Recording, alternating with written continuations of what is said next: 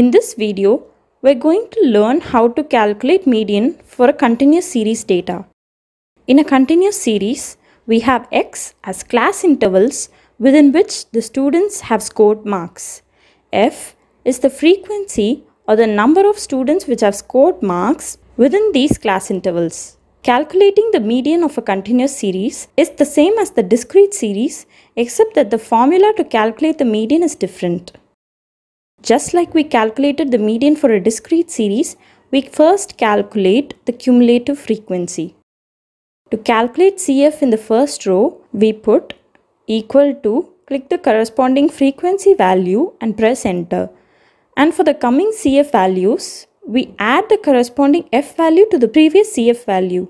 We can do that by this formula. Equal to, click the previous CF value plus Click the corresponding F value, press enter and drag this formula in the second row to get the CF values. We also find the total frequency by using the formula equal to SUM sum, open bracket, select all the F values, close bracket and press enter.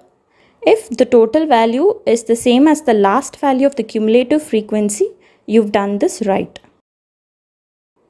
Now, to calculate the median, we use the formula equal to L plus n by 2 minus Cf by f into i.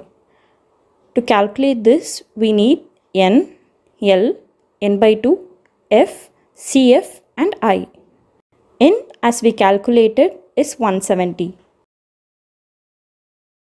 So n by 2 is equal to click n divided by 2 and press enter.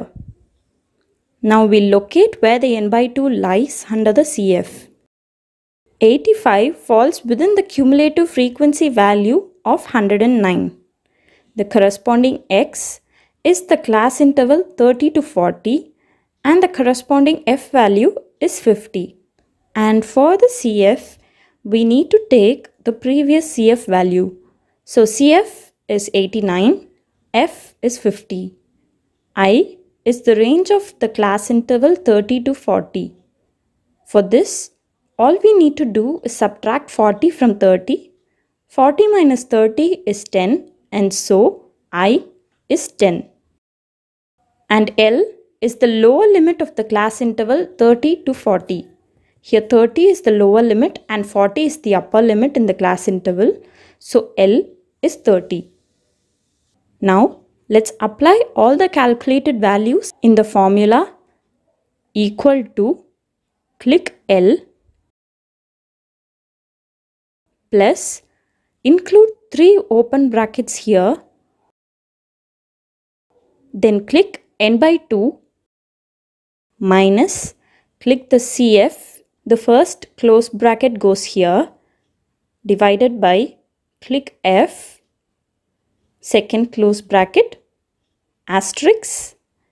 Click the I value and then the final close bracket. Make sure you have inserted the brackets in all the right places and then press enter. This will give us the median value. That's how we calculate the median for a continuous series